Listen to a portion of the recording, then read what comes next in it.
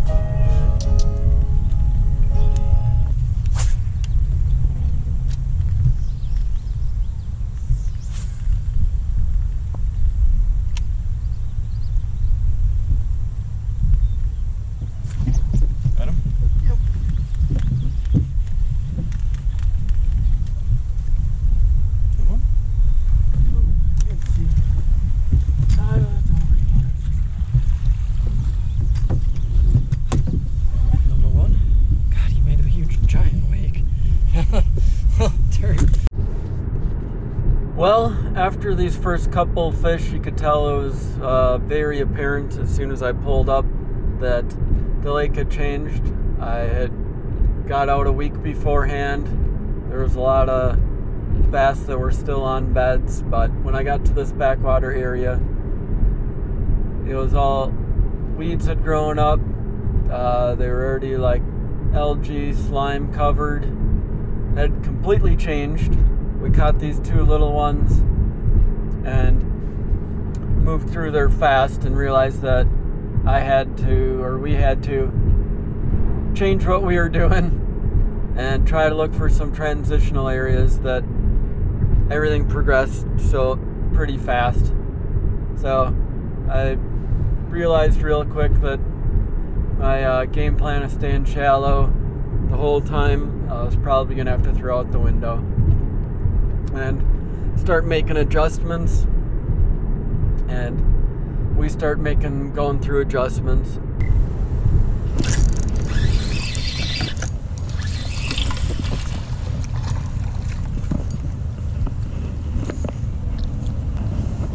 bass beds. What's that?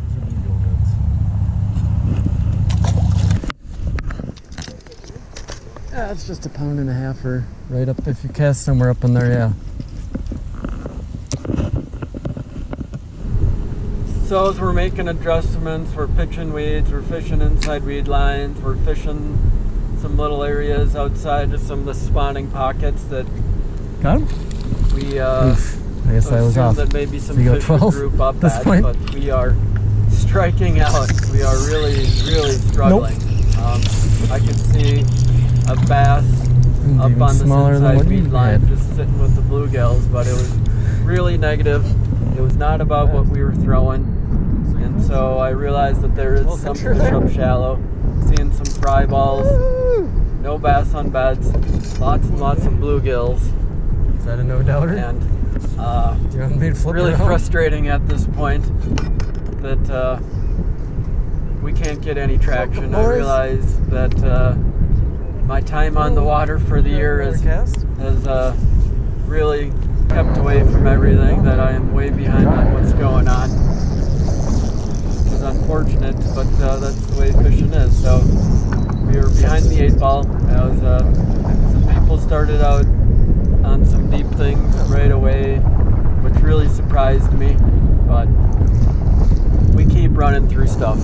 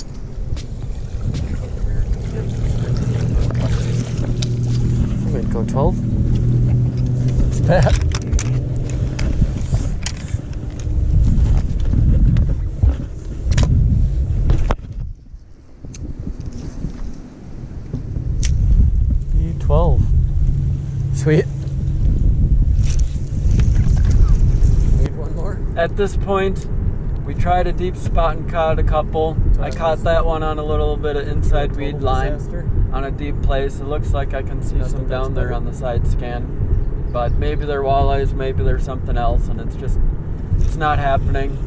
So, we're gonna run to, as I'm going down this bank fishing some docks, we caught that little one. Um, I had another one come and bite me on this inside weed line, and I miss another one and see another one. And I realize I got to do something else, so I turn around and this is what happens. Fortunately, there's only an hour left in the tournament.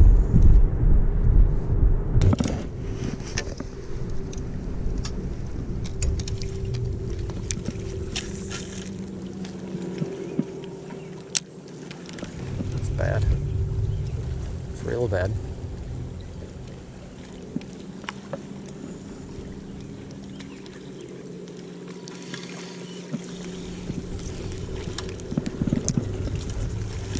Barely see that guy swimming around down there. Came up and grabbed it. There's a decent one.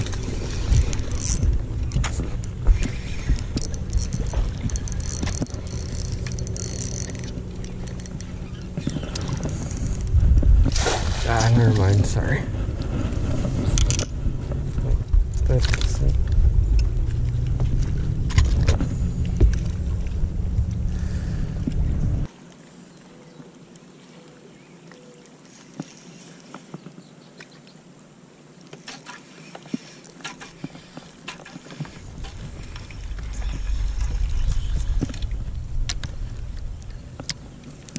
Where's the first one I missed? Oh, probably like right in there, huh?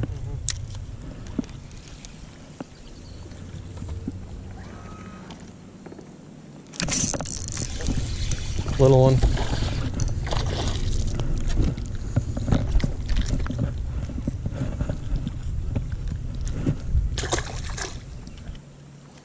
Him? Jesus. Took your Senko?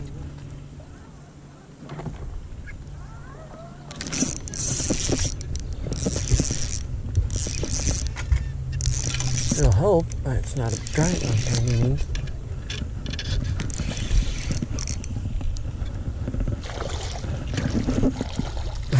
tub, tub of pound.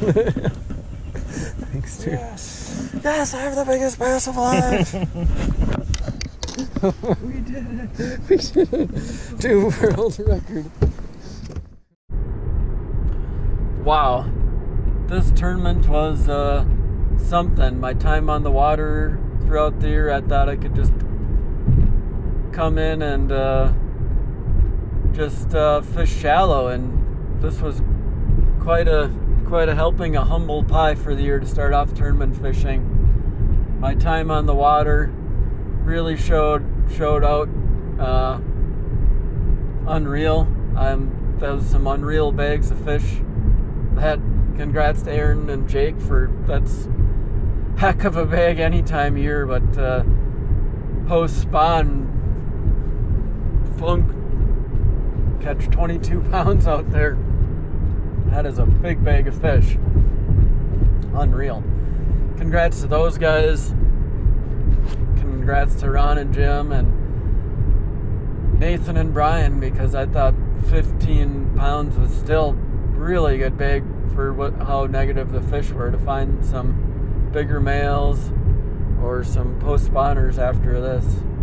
Uh, congrats to them, but definitely a eye opener that I'm behind and I really really got to put some time in to get back to where I want to be.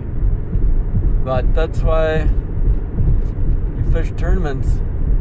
You get your butt kicked and you got to make adjustments. And I realized that uh, I came in unprepared for this one. And if it's going to be a good year, I'm going to have to change some things up and spend some time pre fishing. I'm just not that good enough fisherman just to walk right in and do good. So, um, unreal. It was unreal to me for this one that the fish moved out that fast. But small little lakes like this, there is somewhat of a transitional period. Looked like some people are able to hit that. And uh, people are people are getting real, real good. There's no doubt about it. Some good fishermen, some competition, and so we're gonna have to step up our game for the rest of the year. And uh, I guess I accept the challenge, and hopefully we can get back to where we're at. But it's good to see everyone. It's good to get back in the swing of things, and uh, thanks for watching.